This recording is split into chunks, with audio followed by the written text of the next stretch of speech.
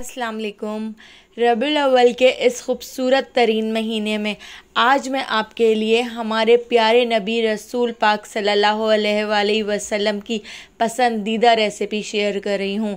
इतनी मज़ेदार रेसिपी है कि आप इसको 10 दिन खा लेंगे ना तो आधी से ज़्यादा बीमारियाँ आपके जिस्म से ख़त्म हो जाएँगी। वज़न कम करने के साथ साथ लंबे अरसे तक जवान रखेगा।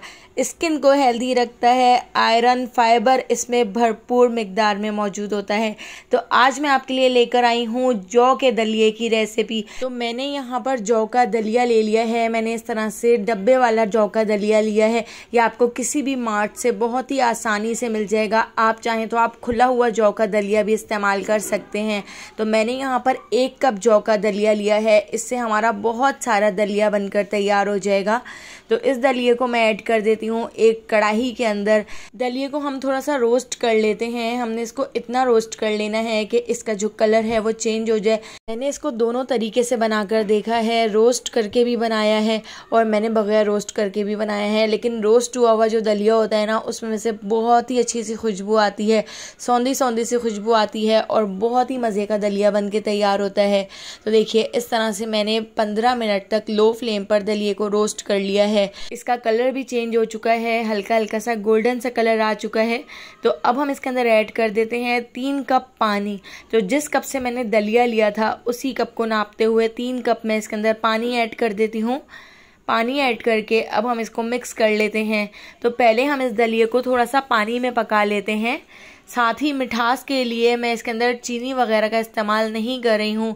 मैं मिठास के लिए इसके अंदर ऐड कर रही हूँ खजूरें, क्योंकि खजूरें हमारे प्यारे नबी रसूल पाक सल्लल्लाहु अलैहि वसल्लम को बहुत ज़्यादा पसंद थी। तो मैंने यहाँ पर सात से आठ खजूरें ले ली हैं। खजूरों के बीज निकाल लिए हैं और खजूरों को हमने इसमें ऐड कर दिया है। तो सात से आठ खजूरें बिल्कुल परफेक्ट रहती हैं, लेकिन बाद में हम इसमें शहद भी ऐड करेंगे। अब मैं इसको कवर करके लो फ्लेम पर 15 मिनट तक छोड़ देती हूँ। इस तरह से हमारी खजूरें भी सॉफ्ट हो जाएँगी और दलिया भी पक जाएगा। तो देखिए, यहाँ पर हमारा जो दलिया है, वो अच्छी तरह से पक चुका है। इसका पानी खुश्क हो चुका है और खजूरें बहुत अच्छी तरह से सॉफ्ट हो चुकी हैं। तो अगर आप चाहें तो खजूरों को आप चमचे से इस तरह से तोड़ सकते हैं। नहीं तो अगर साबुत रखना चाहें तो आप खजूरों को साबुत भी रख सकते हैं।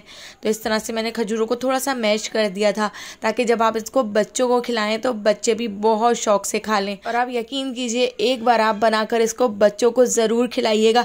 बच्चे आपसे दोबारा बनवाने की फरमाइश करेंगे। तो अब हम इसके अंदर ऐड कर देते हैं दो कप के करीब दूध। तो दूध में सारा एक साथ ऐड नहीं कर रही हूँ। हम थोड़ा थोड़ा करके दूध इसके अंदर ऐड करेंगे, क्योंकि ये दूध को बहुत जल्दी ऑब्ज़र्व कर लेता है। तो इस तरह से देखिए, मैंने थोड़ा थोड़ा करके इसके अंदर दूध ऐड कर दिया है। दूध ऐड करके हमने इसको लो फ्लेम पर 10 मिनट तक इस तरह से पका लेना है। तो जितना पतला रखना चाहें आप, उतना पतला इसको रख सकते हैं। अगर आप इसको थोड़ा सा थिक रखना चाहें तो आप इसको थिक भी रख सकते हैं। तो देखिए, इस तरह से हमारा जो दलिया है, पक चुका है। अब हम इसके अंदर ऐड कर देते हैं थोड़े से बादाम, पिस्ते और काजू। तो बादाम, पिस्ते और काजू को मैंने बिल्कुल बारीक कट कर लिया था। बादाम पिस्ते काजू ऐड करने के बाद हम इसको मिक्स कर लेते हैं। हमारे प्यारे नबी रसूल पाक सल्लल्लाहु अलैहि वसल्लम जौ का दलिया बहुत ज़्यादा शौक से खाया करते थे। जौ का दलिया गम दूर करता है, कब्ज दूर करता है और जिसम को बहुत मज़बूत रखता है। इसके साथ साथ कोलेस्ट्रॉल को भी ख़त्म कर देता है। खून की नालियों की चिकनाहट को कम करता है। तो देखिए, यहाँ पर मैं इसमें चीनी वगैरह का इस्तेमाल नहीं कर रही हूँ। गैस के फ्लेम को बंद करके मैंने इसमें थ्री टेबल स्पून के करीब शहद ऐड कर दिया है, शहद ऐड करके। अब हम इसको डिश आउट कर लेते हैं। तो यहाँ पे हमारा बहुत ही मज़ेदार सा जौ का दलिया बनकर तैयार हो चुका है। इसको ऊपर इस तरह से हम गार्निश कर लेते हैं। ऊपर से थोड़ा सा हम इसके ऊपर शहद डाल देते हैं।